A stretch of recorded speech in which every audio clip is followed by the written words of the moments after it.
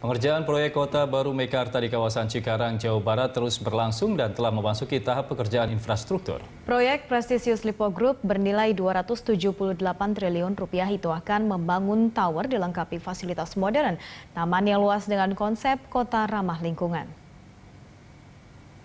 Kawasan Cikarang, Jawa Barat diprediksi menjadi jantung perekonomian Indonesia untuk beberapa tahun ke depan ratusan industri skala nasional dengan ratusan ribu pekerja berada di kawasan Cikarang.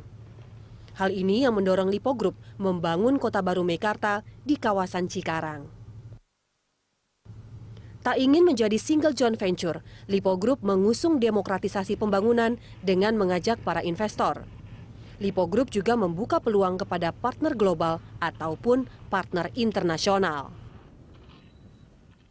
Konsep pembangunan Mekarta adalah refleksi dari tema Jakarta Baru, di mana integrasi industri maju dan pembangunan sebuah kota modern dan hijau menjadi sebuah kebutuhan.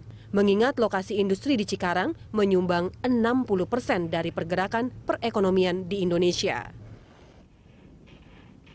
Meikarta dibangun dengan nilai investasi 278 triliun rupiah, merupakan kota modern yang visionary dan diharapkan menjadi kota terpenting di Indonesia. Mekarta terletak di lokasi yang sangat strategis di mana merupakan pusat ekonomi Indonesia yang memberikan sumbangsih 60 persen dari total perekonomian Indonesia.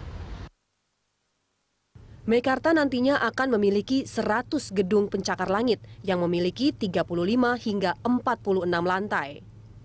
Bangunan vertikal itu mencakup hunian dengan ragam gaya arsitektur, seperti Asia, Eropa, dan Amerika. Ditunjang infrastruktur dan sarana transportasi modern, rumah sakit, dan pusat pendidikan.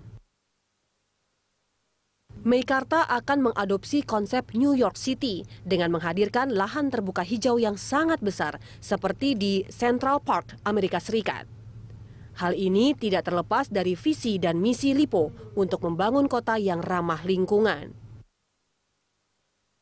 Tim Liputan Berita 1, Cikarang, Jawa Barat.